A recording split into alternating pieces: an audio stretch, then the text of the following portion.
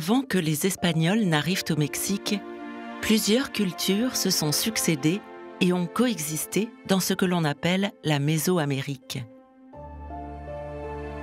Il s'agissait d'un très vaste territoire s'étendant du nord du Mexique au Costa Rica, en passant par le Guatemala, le Honduras et une partie du Nicaragua. Elle fut occupée par de nombreuses ethnies ayant des traits culturels communs. Parmi celles-ci, la plus connue est sûrement la civilisation maya, qui couvrait un large territoire dans le sud de la zone.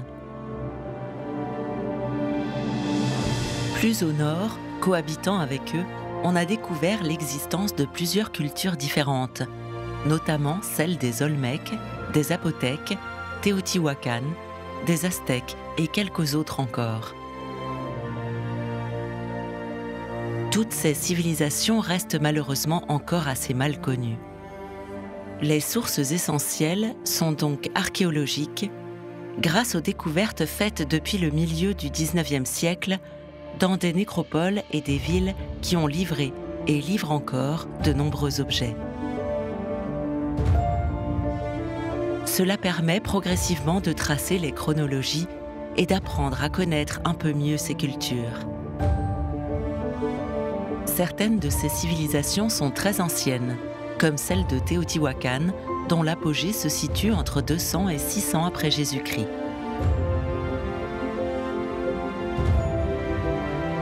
Elle possédait des villes de plusieurs dizaines de milliers d'habitants, dominant les régions proches et accueillant des migrants venus parfois de loin, ce qui témoigne d'une force et d'une puissance impressionnantes.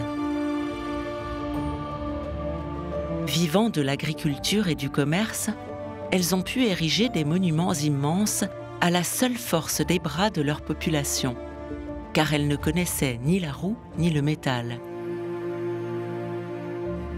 La dernière de ces grandes civilisations est la culture aztèque, appelée Mexica, comme leur langue nahuatl les nommait. Ils arrivent sans doute du nord, en dominant progressivement les territoires qu'ils traversent, et s'installent vers 1325 sur une île au milieu du lac Texoco, où ils fondent la ville de Tenochtitlan, leur capitale, qui est l'actuelle ville de Mexico. C'est cette civilisation que vont rencontrer les quelques centaines d'Espagnols menés par Hernán Cortés qui débarquent au printemps 1519 sur les côtes du Mexique. Ils parviennent rapidement jusqu'à Tenochtitlan où ils rentrent émerveillés devant tant de magnificence. D'abord reçus pacifiquement par Moctezuma II, les choses dégénèrent rapidement et tournent à la guerre les Espagnols sont aidés par les premières maladies transmises aux indigènes qui font très vite des ravages, en particulier la variole. Finalement, Cortés s'empare de la capitale aztèque au printemps 1521. Suite à cela, de nombreuses destructions de monuments aztèques ont eu lieu tout au long du XVIe siècle pour être remplacés par des édifices coloniaux comme des cathédrales chrétiennes, ce qui a entraîné la disparition de très nombreux témoignages de la vie des populations précolombiennes en Mésoamérique.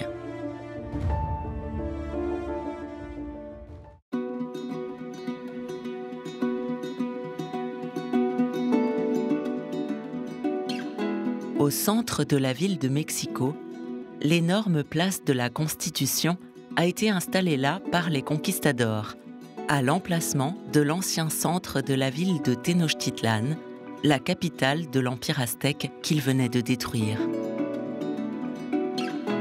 C'est là qu'on trouve les monuments les plus importants du Mexique colonial, tant religieux que politique.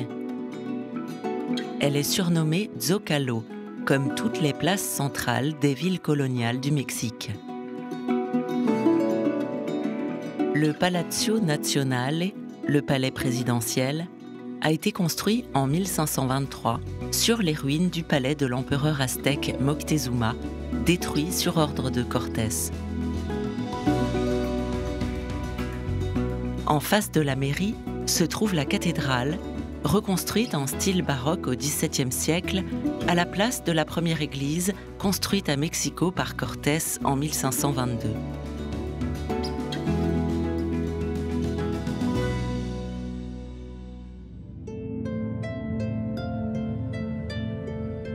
Juste à côté de cette gigantesque place se trouvent les restes archéologiques du Templo Mayor, la grande zone cultuelle de la capitale de l'Empire aztèque, Tenochtitlan.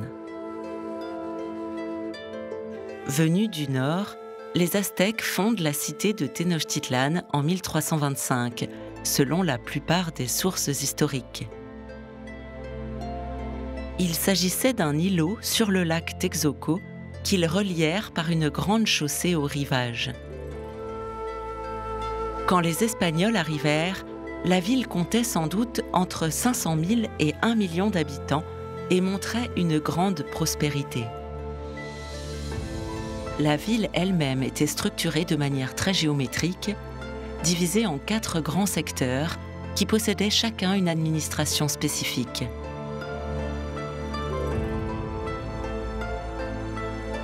Au centre des quatre grandes sections, le Templo Mayor déployait de nombreux bâtiments et était protégé par une enceinte de 300 mètres de large sur 400 de long, ainsi que par une garnison d'élite. D'après les archéologues, 78 bâtiments entouraient le Templo Mayor. Beaucoup étaient des temples dédiés aux divinités aztèques ou locales. On trouvait également à proximité des palais impériaux, prouvant le lien entre le monde religieux et le pouvoir politique chez les Aztèques. La grande pyramide à degrés qui constituait le grand temple a été agrandie à plusieurs reprises, au moins sept fois selon les archéologues. Chaque nouveau bâtiment venait envelopper le précédent selon une tradition courant chez tous les peuples de Mésoamérique. Au sommet, la pyramide était surmontée de deux sanctuaires. Ils étaient dédiés à deux divinités, Tlaloc, dieu de l'eau et de la pluie, connu dans l'ensemble du monde mésoaméricain, et Huitzilopochtli, dieu solaire guerrier d'origine plus proprement aztèque. D'architecture très variée, une partie seulement de ces monuments ont été retrouvés, mais les fouilles se poursuivent et livrent encore de nombreuses surprises.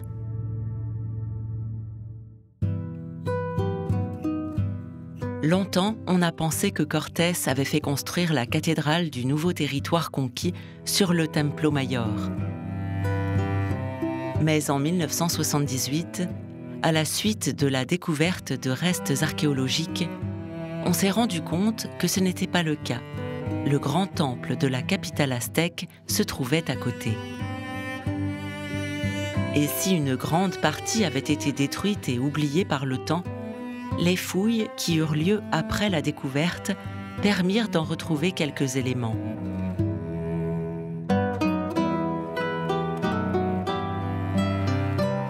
C'est la mise au jour de cet énorme disque de pierre pesant plus de 8 tonnes qui a permis de découvrir l'emplacement du Templo Mayor en 1978.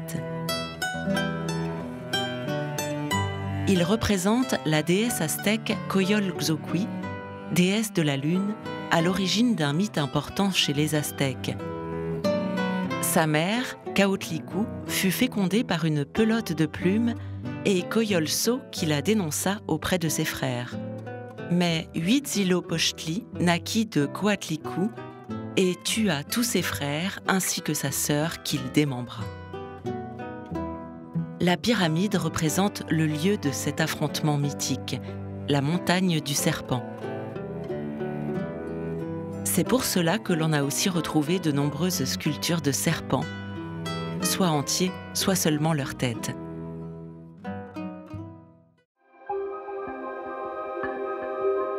Tout cet ensemble a été réalisé dans la deuxième moitié du XVe siècle sous le grand empereur Moctezuma Ier qui unifie l'empire aztèque.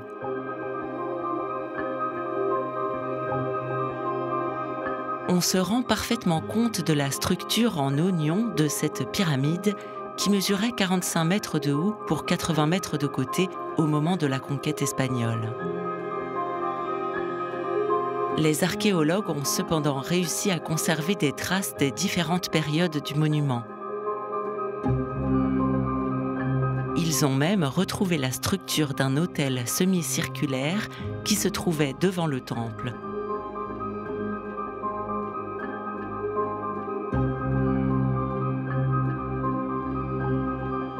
C'est grâce à ce procédé d'agrandissement successif que l'on a découvert entre deux murs plusieurs grandes statues, représentant sans doute les frères tués de Huitzilopochtli, dieu de la guerre et du soleil, divinité majeure des Aztèques.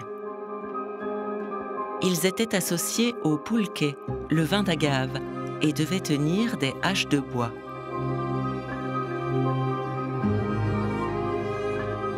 Devant le sanctuaire de Tlaloc, on a retrouvé, remontant à la toute fin du XVIe siècle, une sculpture que l'on appelle par tradition Chakmol, ce qui signifie grand jaguar rouge en maya. Ce nom lui a été donné par un explorateur, mais il est très fantaisiste. On en connaît quelques autres qui, comme ici, montrent un homme couché, la tête tournée et tenant un plateau sur le ventre. Celui-ci est extraordinaire car il a conservé ses couleurs. Il s'agit sans doute d'un autel sacrificiel et le plateau qu'il tient devait recevoir le cœur des victimes sacrifiées lors des grandes cérémonies en l'honneur des dieux honorés sur la pyramide.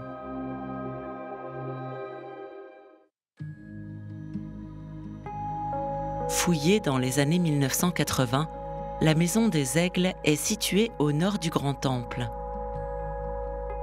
Elle est constituée d'un ensemble de portiques de salles et de petites cours disposées en L. Elle contenait de nombreux décors et des restes archéologiques de grande importance. On a en particulier découvert de très nombreux décors peints le long des banquettes. Il s'agit plus exactement de très bas reliefs peints représentant des aigles et des processions de guerriers se détachant sur un fond rouge.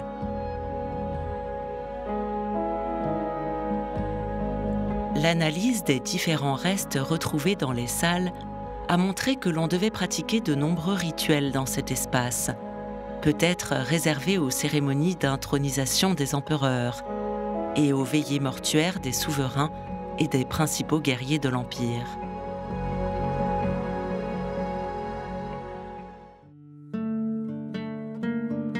Tout à côté de la pyramide se trouve l'hôtel Zompantli, décoré de têtes sculptées.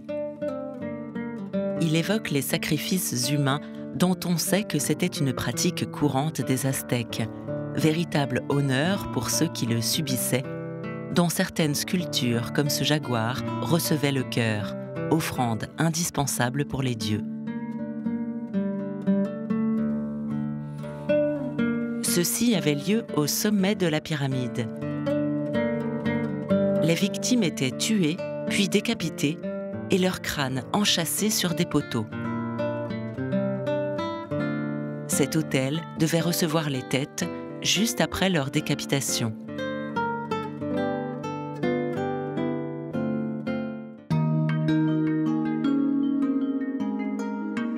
L'espace archéologique couvre aujourd'hui 1,2 hectares sur les 12 hectares que devait représenter l'espace cultuel au moment de la conquête. Sur le site se trouve également le musée du Templo Mayor, ouvert en 1987. Ainsi, les quatre premières salles sont consacrées à Huitzilopochtli et, dans un sens large, à la guerre, tandis que les quatre dernières traitent de Tlaloc, de l'agriculture et de l'exploitation que les Mexicains faisaient des ressources naturelles. Le monolithe de Tlaltecutli est la plus grande sculpture monolithique aztèque retrouvée à ce jour. Cette représentation féminine de la divinité Tlaltecutli a été découverte en octobre 2006 près de l'enceinte de l'ancien Templo Mayor de Mexico Tenochtitlan. Ce pot en céramique modelé avec de hauts reliefs représente le dieu Tlaloc, une divinité bienfaisante qui avait aussi son côté négatif en envoyant la foudre, le gel, les inondations et la grêle qui pouvaient détruire les récoltes. Sur ce pot sont représentés les traits iconographiques les plus remarquables et les plus caractéristiques de cette divinité. De grandes boucles d'oreilles rectangulaires avec un pendentif au centre et une coiffe sur la tête. Ce musée possède de sublimes autres œuvres de la civilisation aztèque, tout comme ce groupe statuaire qui appartient au type dit porte-étendard, car ils ont une de leurs mains en position pour tenir un mât. Ils ont également une cavité dans la poitrine qui abritait une pierre verte comme un cœur symbolique.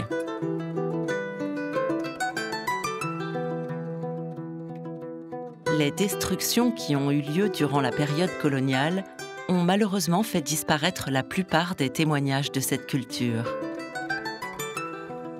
Les fouilles archéologiques ont cependant permis de retrouver un grand nombre d'objets qui nous en apprennent plus sur la civilisation aztèque.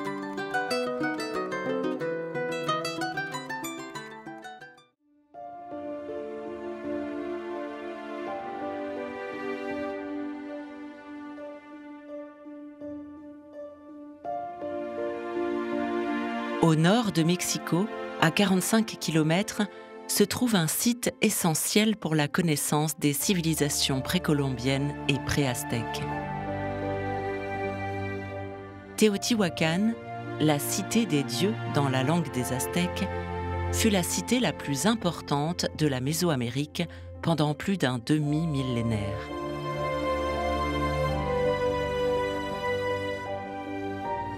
Fondée vers 300 avant Jésus-Christ, elle connaît son apogée entre 150 et 450 après Jésus-Christ, abritant une population de 150 à 200 000 habitants.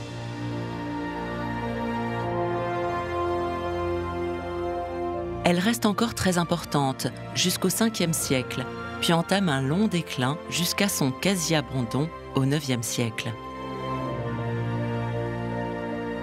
En revanche, on ignore qui sont les fondateurs de Teotihuacan, qui est devenue une ville, mais également une civilisation à elle toute seule.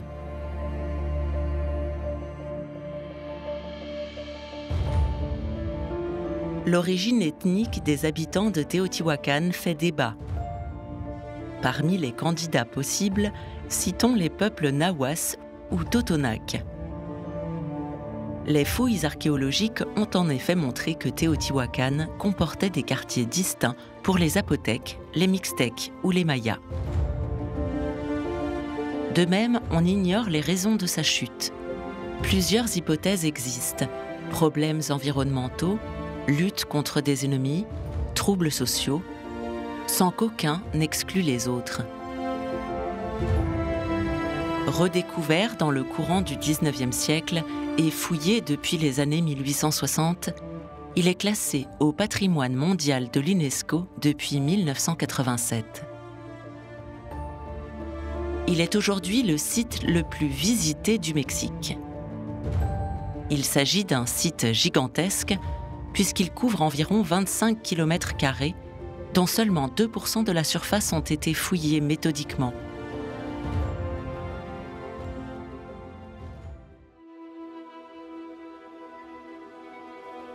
La visite du site commence par le sud, où se trouve la citadelle, une grande aire de 400 mètres de côté entourée de murs. Les Espagnols l'ont appelée citadelle car ils pensaient que cette zone avait un caractère militaire. En fait, il s'agissait sans doute du centre du pouvoir de la ville, constitué de plusieurs types de bâtiments différents. On trouve notamment sur cette place une grande pyramide. Il s'agit du temple de Quetzalcoatl, ou serpent à plumes, un des dieux majeurs des civilisations mésoaméricaines, sans doute originaire de la cité. Il est constitué d'une pyramide à 7 degrés qui fut construite vers 150 après Jésus-Christ. On lui a ajouté plus tard un avant-corps qui cache le côté ouest de la pyramide et a permis de conserver le décor de cette façade. On y trouve quelques restes d'enduits qui masquaient les pierres et qui devaient être colorés. On y voit surtout d'abondants décors sculptés, en bas ou haut relief, placés sur les côtés des escaliers, les talus et les tabliers. Parmi ceux-ci, les plus particuliers sont de curieuses sculptures très géométrisées. On les a longtemps assimilées à des représentations de Tlaloc, le dieu de la pluie.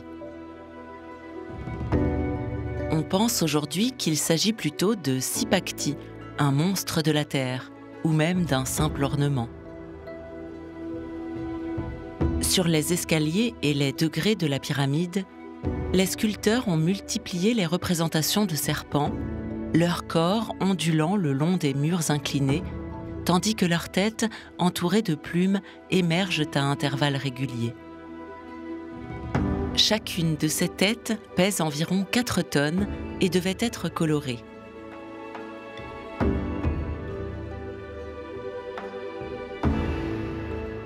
Vers 400, le temple a été entouré d'une grande plateforme qui semble indiquer un changement de fonction et de rôle de l'ensemble de la citadelle. Par ailleurs, des fouilles récentes ont permis la découverte d'un tunnel et de plusieurs chambres funéraires sous la pyramide de Quetzalcoatl. On y a également retrouvé de nombreux restes de corps sacrifiés.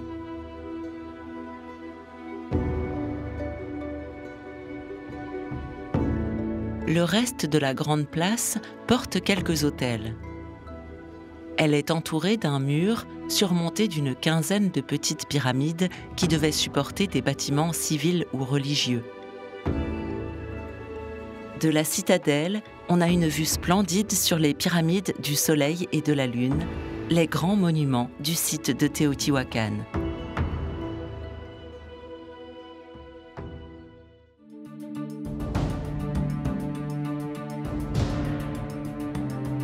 La ville est organisée en quartiers à partir d'un grand axe central nord-sud. L'allée des morts, longue d'environ 4 km. Le nom de cette avenue, comme ceux des temples et des pyramides, a été donné par les Aztèques lorsque ceux-ci s'emparèrent de la région au XVe siècle. Ils ne correspondent pas à leur fonction originelle. Sur toute sa longueur, elle est bordée de monuments divers et traverse plusieurs places intermédiaires. Les Aztèques pensaient que les monuments alignés de chaque côté étaient des tombes. Il s'agit en fait de petits temples ou de complexes d'habitation.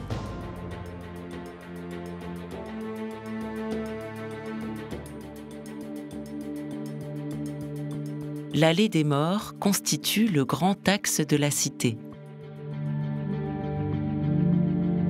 Elle mesure près de 40 mètres de large, ce qui permet d'imaginer une population très nombreuse. Elle est bordée de ces bases pyramidales qui supportaient des temples ou bien des palais pour les élites et le clergé. On reconnaît ici le mode de construction en talus de tablero dont les architectes de Teotihuacan furent les inventeurs. Il est constitué d'une alternance d'un mur incliné, le talud, et d'un mur vertical avec une corniche en saillie, le tablero.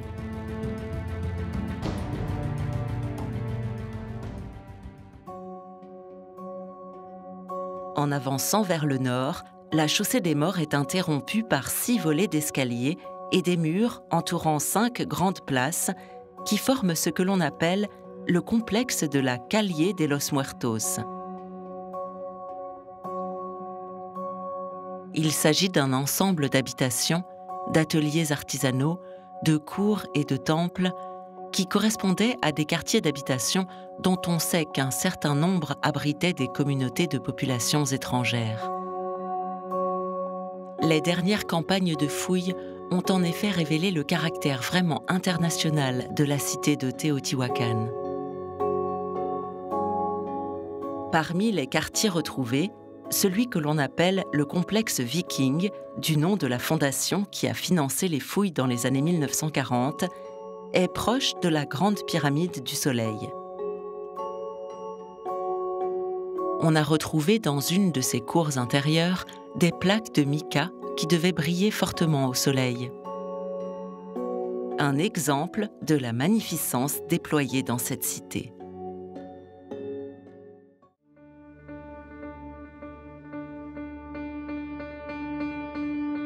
de nombreux complexes bordent la chaussée des morts.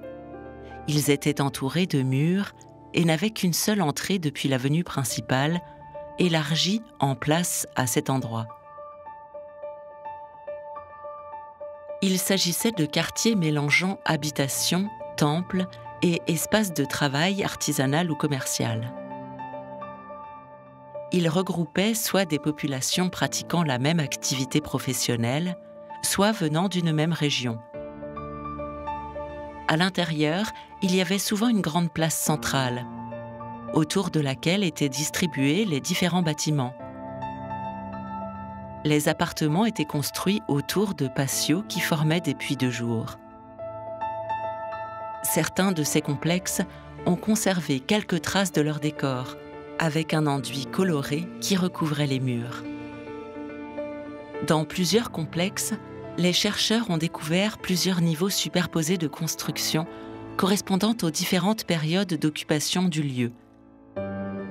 Dans le complexe de la place Ouest, on a ainsi retrouvé sous un temple une construction décorée de grandes têtes de serpents à langue fourchue ayant conservé quelques traces de couleur.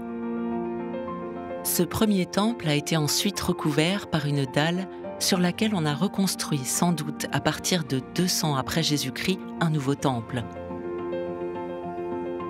Ces complexes possédaient plusieurs appartements ainsi que des locaux pour le travail. Ils pouvaient abriter de 60 à 100 personnes et s'étendaient souvent sur une surface de 2500 à 3000 mètres carrés. On estime qu'on en a construit plus de 2000 à Teotihuacan.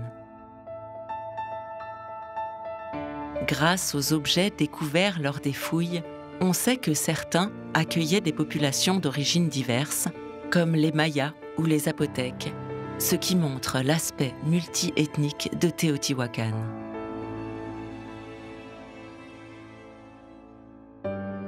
De nombreuses peintures murales ont été découvertes dans ces complexes, ce qui a fait la célébrité du site. Ainsi, ce puma, de profil, la bouche ouverte, peint sur un fond de bandes obliques de différentes couleurs. Il est caractéristique des décors qui ornaient les façades donnant sur la chaussée des morts. La ville devait avoir un aspect très chatoyant.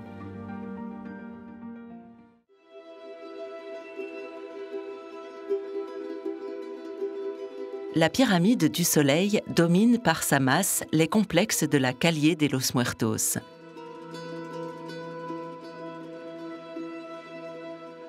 Elle semble reproduire la forme d'une montagne. Son nom ne correspond pas à la réalité. Ce sont les Aztèques qui ont donné son nom à la pyramide du Soleil, car elle a été construite avec une orientation bien précise en lien avec la course du Soleil pendant l'hiver. Cependant, aucun objet en relation avec une divinité solaire n'a été retrouvé. D'autres hypothèses ont depuis été émises, notamment en faveur du dieu de l'eau, Tlaloc, mais on a découvert en 2013 une statue du dieu Huétéotl, le dieu du feu. Peut-être y avait-il des connexions avec Tlaloc. La pyramide du Soleil est la troisième plus grande pyramide connue dans le monde mésoaméricain, avec ses 225 mètres de côté et ses 65 mètres de haut.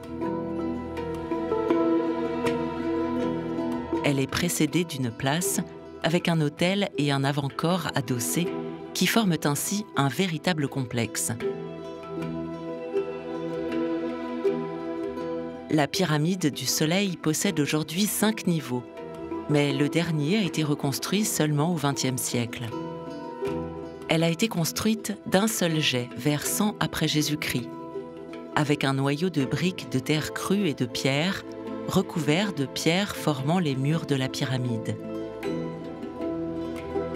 Celle-ci était recouverte d'enduits colorés qui ont malheureusement disparu aujourd'hui.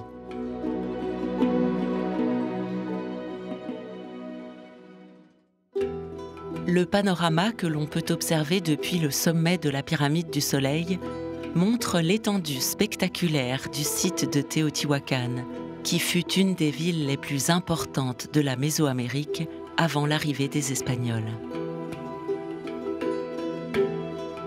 Depuis quelques décennies, on a découvert et exploré les restes d'une grotte sous la pyramide. La caverne fut modifiée et reliée par un long couloir à plusieurs chambres souterraines. Peut-être ont-elles servi de chambre funéraire pour les dirigeants de la ville ou le clergé. La place devant la pyramide, avec son avant-corps et son autel, devait permettre d'accueillir une partie conséquente de la population lors de cérémonies religieuses.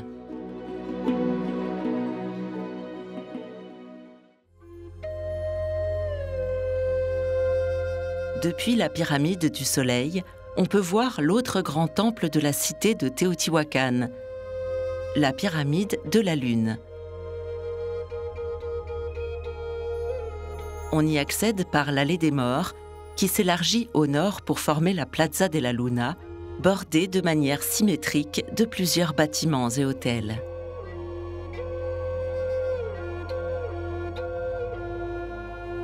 Pour certains, il s'agit de palais pour d'autres de temples à des divinités secondaires.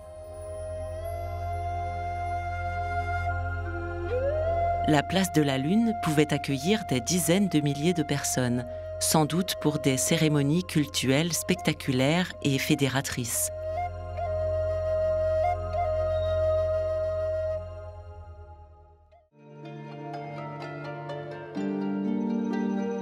Tout près de la place de la Lune, on a découvert un ensemble résidentiel particulier, au plan et à la décoration très sophistiquée. Dans la partie inférieure se trouve le patio de Los Raguares, le temple des jaguars, et la structure Los Caracoles Emplumados, les escargots à plumes. Ces différentes parties tirent leur nom de décors qui y ont été retrouvés. La partie supérieure, construite vers 400, constitue ce que l'on appelle le palais de Quetzalpapalotl, d'après le nom en nahuatl signifiant papillon-plume, un oiseau mythologique avec un corps de papillon. On y trouve de nombreuses pièces, cours secondaires et couloirs distribués autour de la cour des piliers. Le plus spectaculaire est la cour des piliers. Autour, un portique est porté par des piliers massifs abondamment sculptés de très bas relief. On y voit ces fameux oiseaux papillons de face et de profil entourés de perles, d'escargots, d'yeux et de plumes.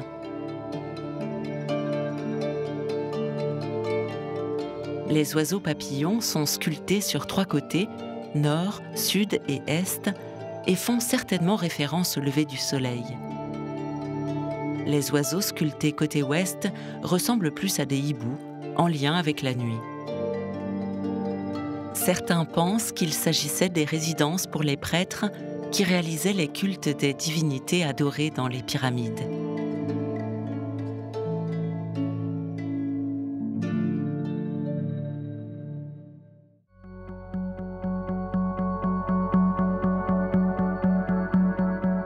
Qu'être impressionné et attiré par ce gigantesque monument qu'est la pyramide de la Lune, derrière laquelle se profile le Cerro Gordo, un ancien volcan dont le nom signifiait mer de la pierre.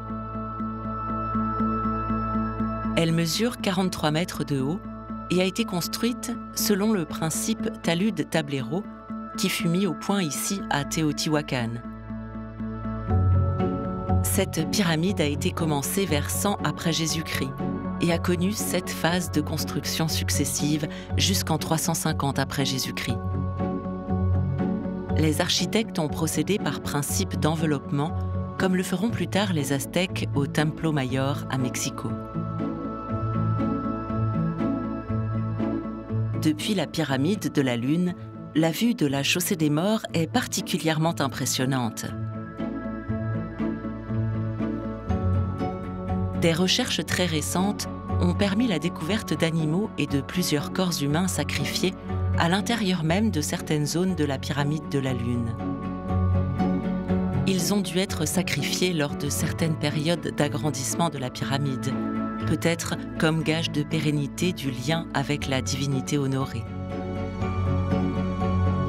Contrairement à ce que l'on a longtemps pensé, la civilisation de Teotihuacan a donc également pratiqué des sacrifices humains, comme de nombreuses autres cultures mésoaméricaines.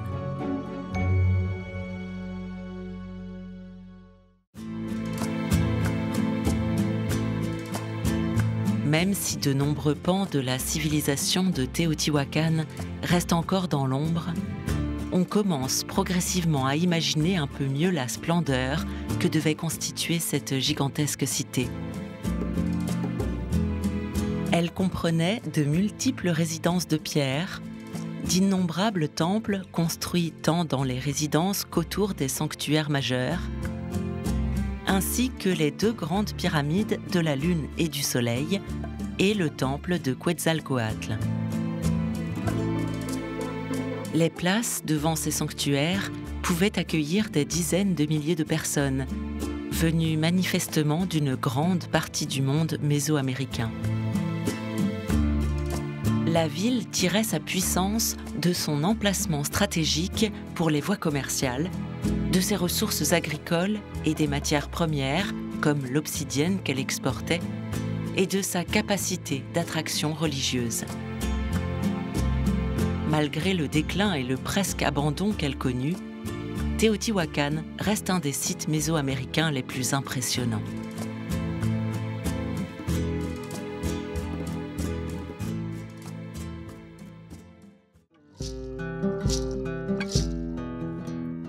Retour à Mexico, où la visite du Musée national d'anthropologie reste essentielle pour qui souhaite connaître les civilisations précolombiennes de la dite Mésoamérique.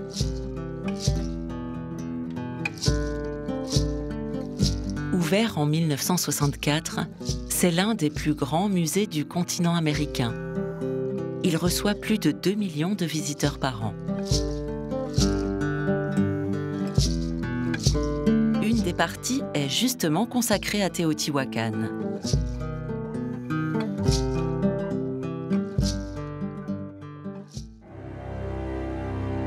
Un des monuments les plus impressionnants découverts par les archéologues est la pyramide du serpent à plumes Quetzalcoatl. Ce monument a été érigé en une seule opération entre 1500 et 200 après Jésus-Christ.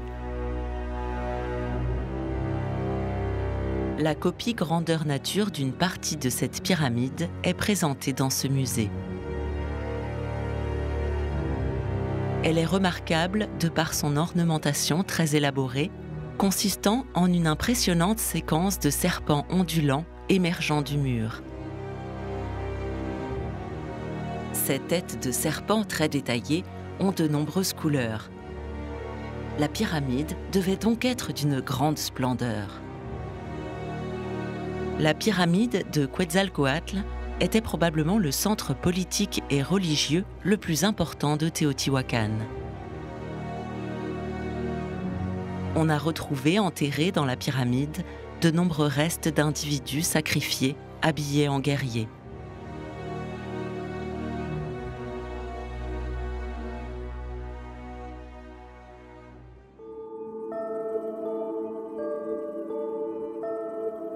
Cette sculpture en andésite, avec le visage de la mort, montre un disque de pierre dans lequel est représenté un visage humain décharné, entouré d'un halo qui pourrait représenter du papier plié.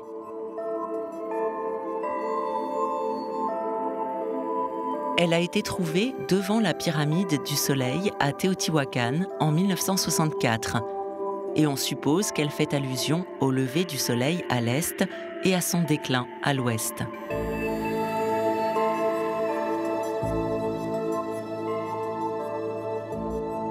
Ces sculptures représentant la tête du serpent jaguar et de Chalchihuites sont possiblement des éléments architecturaux qui formaient une partie de la décoration de la pyramide du Soleil.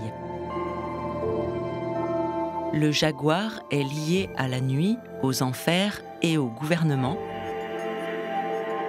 tandis que les Chalchihuites sont liés au précieux, au sacré.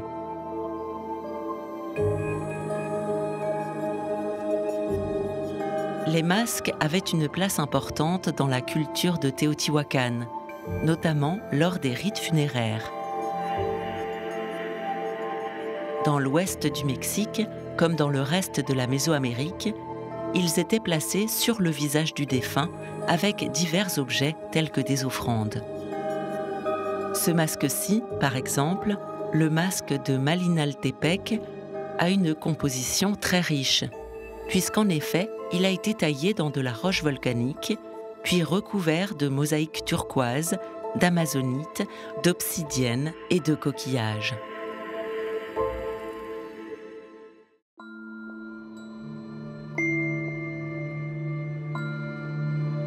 On trouve également dans ce musée des fresques murales, telles que celle représentant Tlalocan, un paradis terrestre, terre de richesse et lieu de délices d'où proviennent tous les fleuves de la Terre.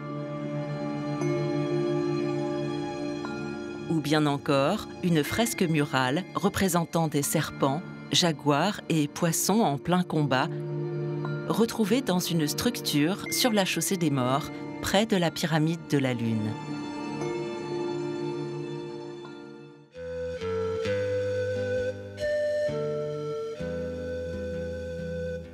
de nombreuses autres figurines et masques représentatifs de la culture de Teotihuacan exposés dans ce musée nous permettent d'en savoir plus sur cette civilisation disparue et continuent de nous livrer ses secrets.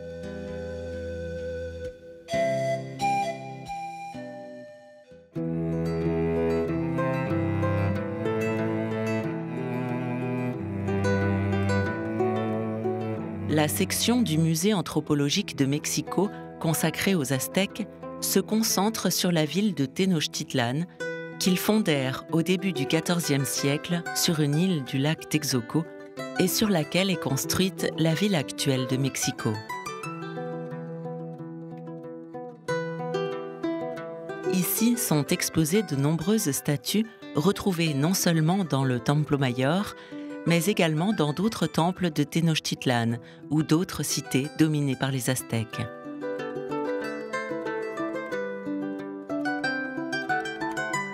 La plupart représentent des divinités du panthéon aztèque ou des populations conquises.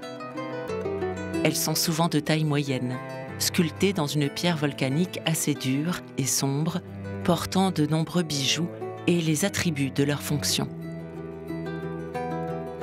D'autres statues sont sans doute plus profanes, représentant des civils ou fidèles, sans doute de très haut rang, dans une société aztèque très hiérarchisée. Certaines dégagent une intense sensation de vie.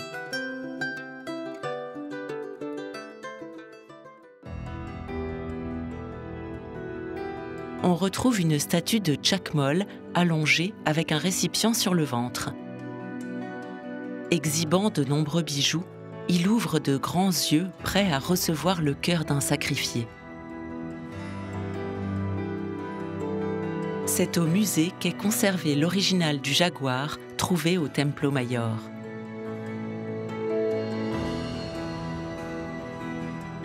Tlaloc, dieu de l'eau et de la pluie, est reconnaissable grâce à ses yeux entourés de serpents et sa grande coiffe.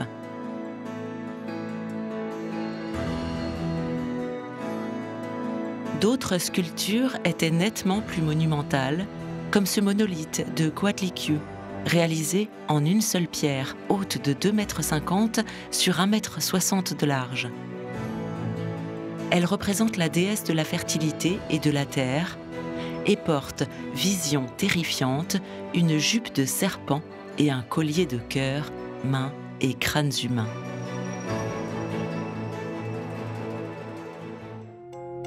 La plupart du temps, ces sculptures sont en pierre, mais il en reste quelques-unes en terre cuite, un matériau que les Aztèques, à la suite de nombreuses cultures mésoaméricaines, ont beaucoup utilisé.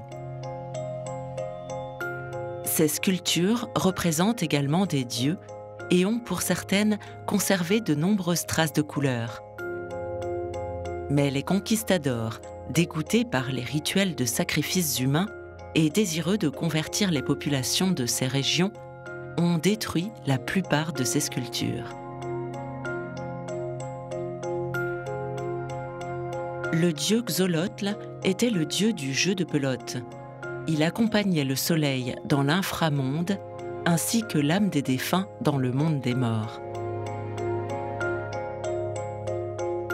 Datant du XVIIIe siècle, cette statue représente le dieu Xochi Pili, dieu des fleurs, du maïs, de l'amour, de la beauté et des jeux.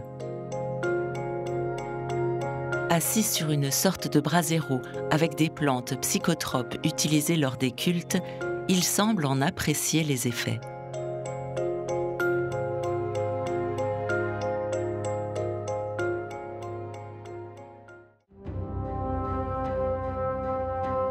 Mais les œuvres les plus spectaculaires sont sans doute les énormes monolithes circulaires que l'on a retrouvés dans différents sites.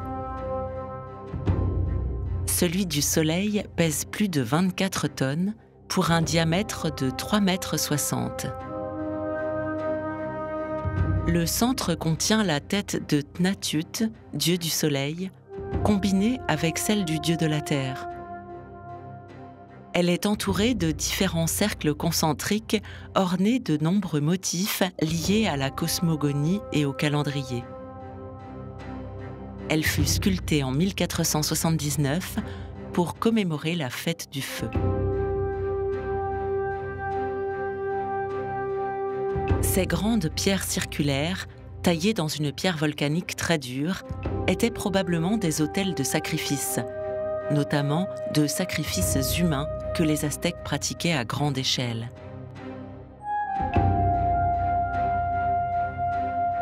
Découverte en 1790-91, en même temps que la pierre du Soleil, la pierre de Tizoc, du nom d'un souverain, présente des décors sur sa face supérieure et sur les côtés on y découvre, en 15 registres, des guerriers aztèques tenant des prisonniers par les cheveux, chaque prisonnier étant identifié par un glyphe nommant sa provenance.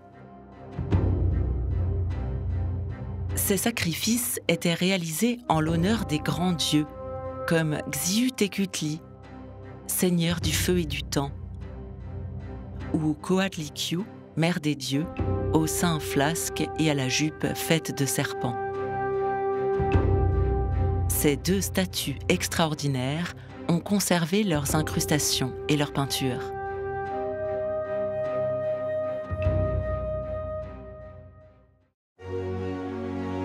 Le musée anthropologique de Mexico regorge d'éléments ayant appartenu aux civilisations aztèques et téotihuacanes. De nombreuses découvertes ont encore lieu de nos jours, nous permettant ainsi de mieux connaître ces peuples disparus.